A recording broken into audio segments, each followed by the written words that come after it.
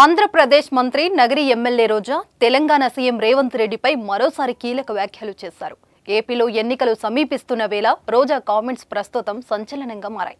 ఓ media ఛానల్కు ఇచ్చిన ఇంటర్వ్యూలో ఈ మేరకు వ్యాఖ్యలు చేశారు రోజా. తెలంగాణలోని అసెంబ్లీ సమావేశాల సమయంలో మాజీ సీఎం కేసీఆర్కు మంత్రి రోజా చేపల పులుసు వడ్డించారంటూ సీఎం రేవంత్ రెడ్డి ఆరోపించిన సంగతి తెలిసిందే. అయితే ఈ వ్యాఖ్యలపై మంత్రి రోజా తాజాగా స్పందించారు.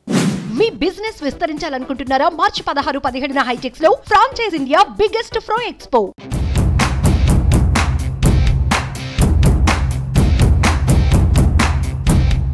మంత్రి రోజా మాట్లాడుతూ తాను ఎవరికి చేపల పులుసు వడ్డించలేదని స్పష్టం చేశారు. రేవంత్ జాక్పాట్లో సీఎం అయ్యారని ఆయనకు ఏం చేయాలో అర్థం కాక ఏపీ రాజకీయాలపై పడ్డారని అన్నారు. ఇప్పటికే వైఎస్ షర్మిలను ఏపీకి తరిమారని మండిపడ్డారు. రేవంత్ తెలంగాణ ప్రజలకు ఇచ్చిన హామీలను నెరవేరిస్తే బాగుంటుంది. కానీ సీఎం జగన్ పై నాపై ఆరోపణలు చేయడం సరైంది కాదని హితవు పలికారు.